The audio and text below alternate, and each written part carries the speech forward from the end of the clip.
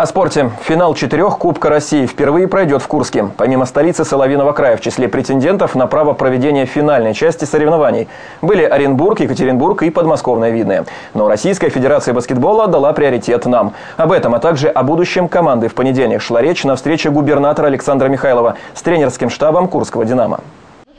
Большой календарь большому клубу. Даже на таком вымпеле все игры «Динамо» поместились с трудом. Сегодня курская команда укомплектована лучшими баскетболистками Европы и Америки. Глава региона выразил надежду, что в будущем тренерский штаб «Бело-голубых» будет активнее привлекать воспитанниц местной школы. Тем более, что резерв есть. В «Динамо» занимается 500 девочек. Лучшие из них станут игроками детско-юношеской баскетбольной лиги и молодежного чемпионата России.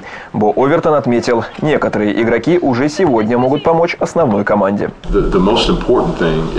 В молодежной команде есть хорошие защитники, и мы посмотрим, как они вольются в основную команду. Нужно взять на какие-то выездные матчи молодых игроков. Хочу посмотреть побольше игр молодежной команды, чтобы делать выводы. Александр Михайлов поинтересовался, известно ли американскому тренеру о противостоянии Курского «Динамо» с «Надеждой». Есть у нас, у наших, да, Бо, наверное, уже знает, да, команда, которая все время камнем преткновения является «Надежда» Оренбург особенно в споре за бронзовые медали.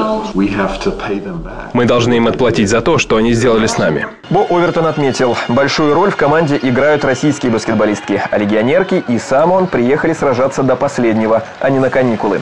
На встрече стало известно, что болельщики смогут поддержать команду в матче с принципиальным соперником – московским «Динамо».